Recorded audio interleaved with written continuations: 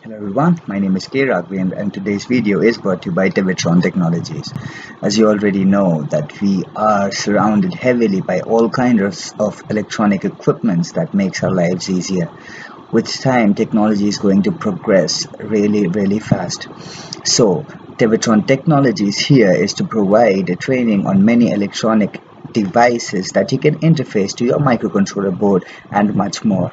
But before we proceed, I'd like to give you an introduction to the company and all the things that we are a part of. Tevatron Technologies is an electronic chip design company focused on VLSI design and embedded systems, PCB design and nurturing the ecosystem for the same. The company was co-founded by Mr. Anurag Gupta and Mr. Rajiv Tiwari, both of whom have a 14 plus year experience in the fields of VLSI and embedded systems. Tevatron is a member of Indian Electronics and Semiconductor Association IESA and a member of ARM Connect program. Corporate offices in Noida, Uttar Pradesh, branch office in Patiala, Punjab, overseas office in Berlin, Germany.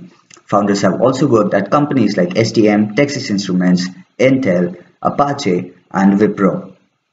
And now, all the fields that Tevatron Technologies is actually keen on working on includes the Internet of Everything or IoT, automotive, wearables, healthcare, mobile application development, smart cities and smart home overview of all the products or projects that we are a part of, which includes the iSmart bin, the iSmart meter, the iSmart switch, OBD-based car systems, driver behavior-based systems, disinfection systems, memory-based healthcare, BeagleBone, CardWatch system, the BEL missile-guided car, biometric-based systems, evaluation boards and shields.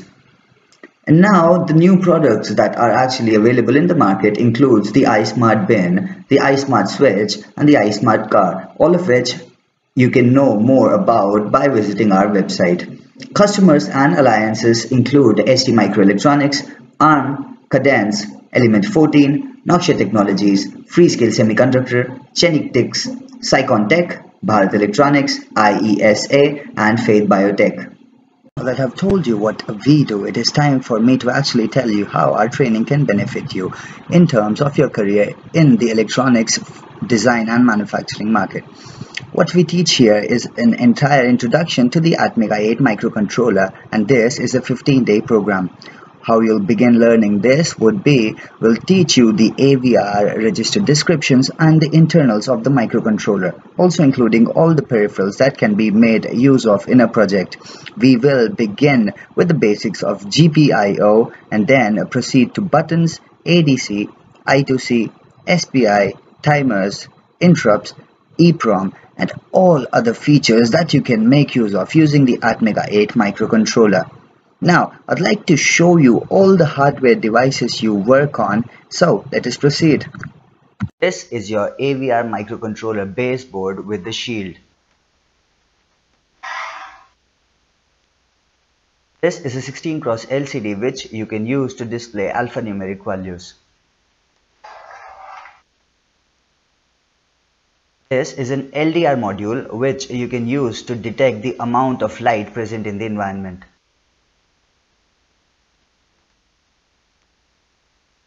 This is an infrared sensor module which you can use to detect obstacles over a small range. This is a PIR sensor which is used to detect proximities over a 360 degree angle.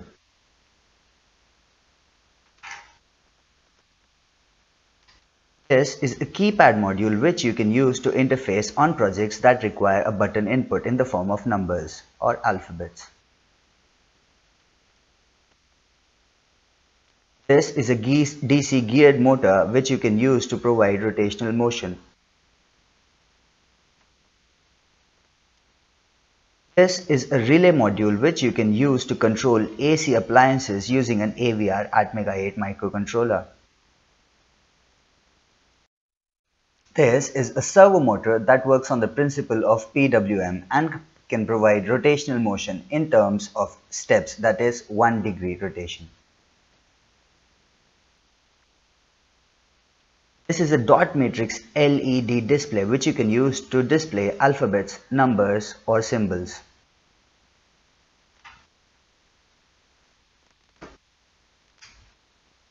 This is a SIM900 GSM GPRS module which you can use to build your own projects that makes use of a SIM card. Next USART module would be an HC05 Bluetooth module which you can use to interface to your AVR Atmega microcontroller and control using Android apps.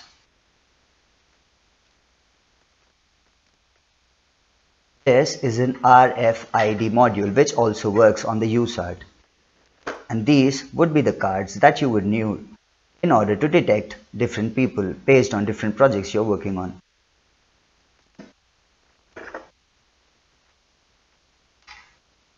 This is a touchscreen module which you can use to press at different places to get different values and according to that you can write your program. This is an ultrasonic sensor which is used to find distances.